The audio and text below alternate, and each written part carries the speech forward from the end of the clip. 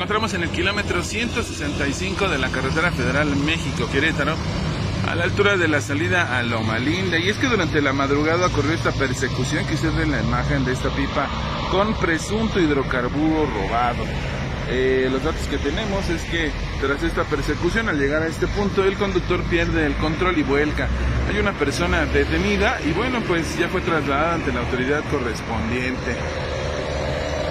Están en estos momentos los bomberos voluntarios de San Juan del Río y elementos de la Guardia Nacional haciendo maniobras en este lugar para pues retirar esta pipa de la zona.